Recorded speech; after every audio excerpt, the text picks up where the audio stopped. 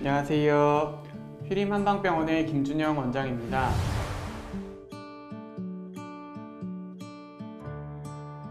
오늘은 담석증에 대해 알아보도록 하겠습니다.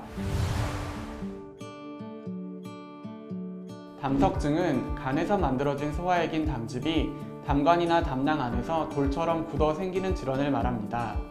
그러면 어떤 사람에게 담석증이 잘 발생하게 될까요?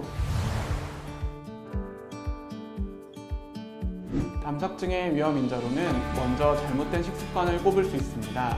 튀김과 고기, 고지방 식이를 하는 경우 담즙 내 콜레스테롤이 비정상적으로 증가해 담석이 쉽게 생기는 환경이 됩니다. 비만 또한 담석증의 위험을 높이는 인자이며 반대로 무리한 다이어트도 담석증의 원인이 될 수 있습니다. 장기간 음식 섭취를 제한하면 담낭의 운동성이 저하되고 담즙 배출이 원활하지 못해 담석이 생길 수 있습니다.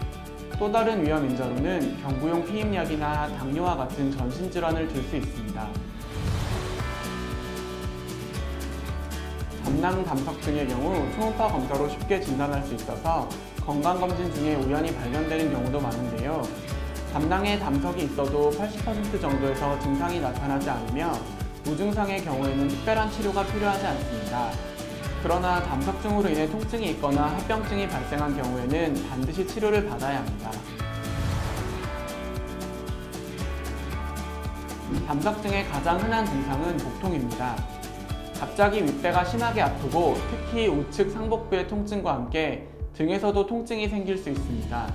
담석이 담낭관을 막아 담낭이 부어오르거나 12지장으로 담즙을 배출하는 총담관 끝을 막아서 통증이 생길 수도 있습니다.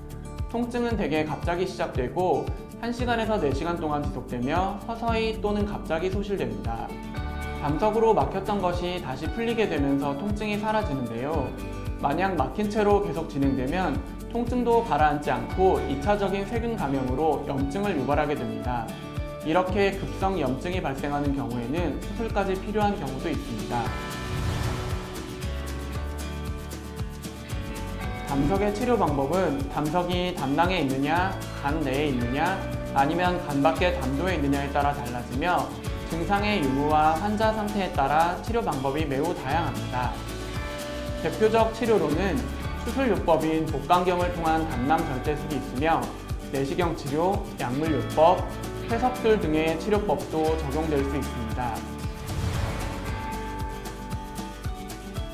그렇다면 담석증으로 간이 나빠지거나 암이 발생할 수도 있을까요?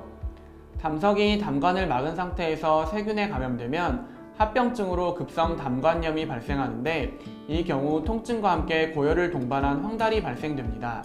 적절한 치료를 하면 완치될 수 있지만 담석증으로 염증이 반복되고 지속되는 경우에는 2차적으로 간에 영향을 주게 되어 간경변증이나 담도암과 같은 합병증이 발생할 수도 있습니다. 담낭 담석의 경우에도 담낭벽이 석회화될 경우 담낭암이 잘 발생하게 됩니다. 담낭 담석 중 2.5에서 3cm 이상의 거대 담석은 오래 두면 담낭암이 발생할 확률이 올라가게 됩니다. 무증상으로 담낭에 담석이 있는 사람의 경우에는 1년에 한 번 정기적인 복부 초음파 검사를 통해 추적 관찰하는 것이 필요합니다. 이상으로 휘림한방병원의 김준영 원장이었습니다.